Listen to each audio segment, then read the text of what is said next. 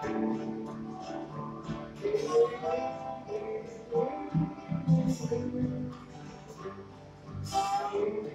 you.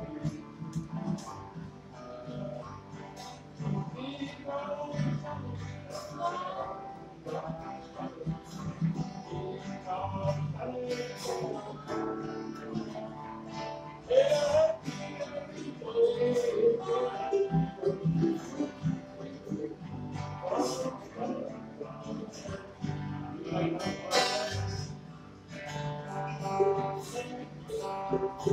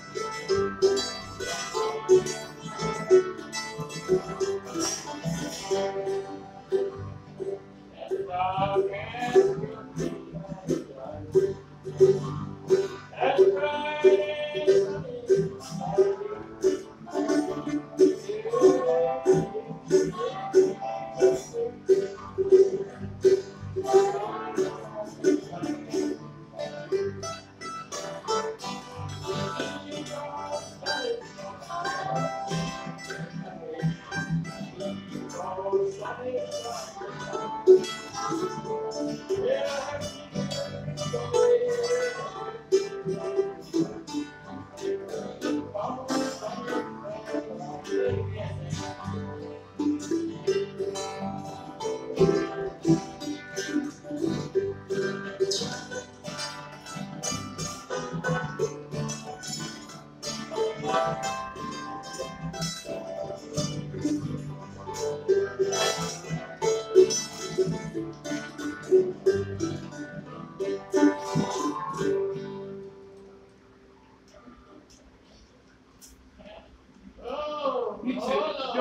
foot with the hand, your line, but, he, he knows that. Oh.